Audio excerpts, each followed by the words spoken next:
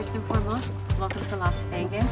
You're here again headlining a main event fight. What does it mean for you to be able to bring your title and defend it right here in Las Vegas?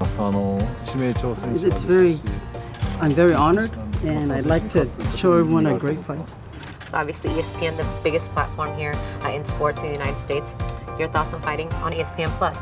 Well, uh, I'm, I'm extremely honored and happy, and um, I want everyone watching on ESPN to see a great fight. Uh, what is it going to take to be victorious on Saturday night? Uh, learn what I learned and prepared in the gym and show it in the ring.